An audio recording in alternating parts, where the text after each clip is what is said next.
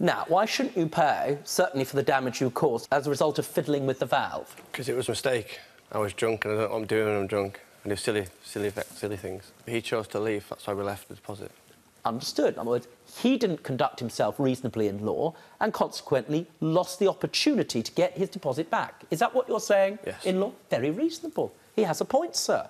The apartment itself after the flood absolutely stunk. Like the whole place, it would have took much more than a, a, just an average clean.